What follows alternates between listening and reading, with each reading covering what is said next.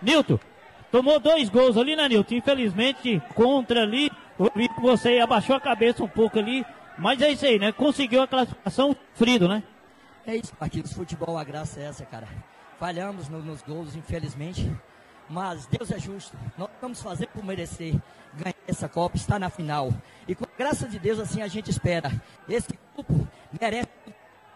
Temos um campeonato, um campeonato municipal. As críticas vieram e a gente quer dar a volta por cima. Estou aqui emocionado, cara, porque Água Branca é isso, Água Branca é paixão. Obrigado mesmo. Nilton, é, sem, sem maldagogia é, é, contra um time ou outro, mas eu acho que o mais justo seria um time é, do, da, da sua localidade, né? Para uma festa mais bonita, o município, quando é um time município Cordeiro, né, Rui?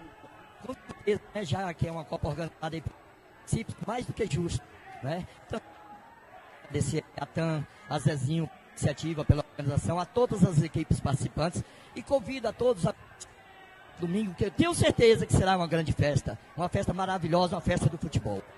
Valeu, Nilton. Vou pegar mais alguém.